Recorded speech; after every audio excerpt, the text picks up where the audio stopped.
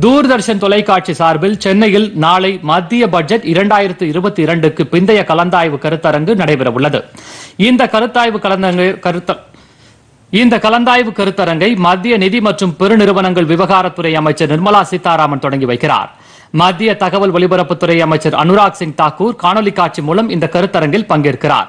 மத்திய தகவல் ஒலிபரப்புத்துறை இணையமைச்சர் எல் முருகன் இந்த கருத்தரங்கில் சிறப்பு விருந்தினராக பங்கேற்கிறார்.